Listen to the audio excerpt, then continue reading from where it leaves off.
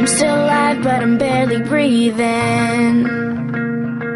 Just praying to a thing that I don't believe in. Cause I got time while she got freedom.